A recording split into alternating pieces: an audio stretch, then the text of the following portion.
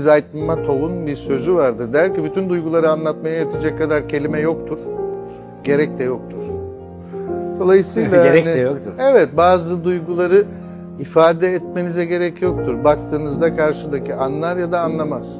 Bunu anlatmak karşındakine ve kendine hakarettir.